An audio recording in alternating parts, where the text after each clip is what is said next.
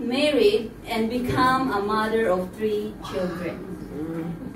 She is a small but battle lover in spiritual warfare to fight for the good fight of faith in prayer.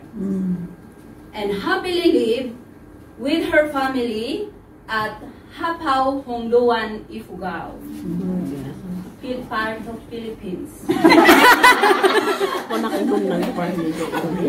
She was inspired and devoted on her personal devotion after her aunt shared the word of God, caused her to be more boldness in seeking God.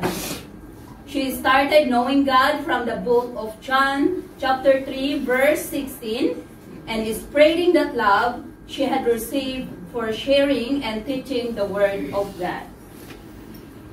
Year 2016, with the help of our Almighty Father, she came here at Hong Kong for the future of her family and became a CTAC Hong Kong family.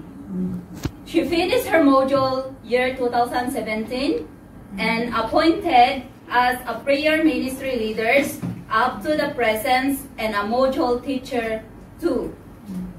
My dear sister in Christ, help me welcome our speaker for today, no other than our sister in Christ, Sister Annalisa.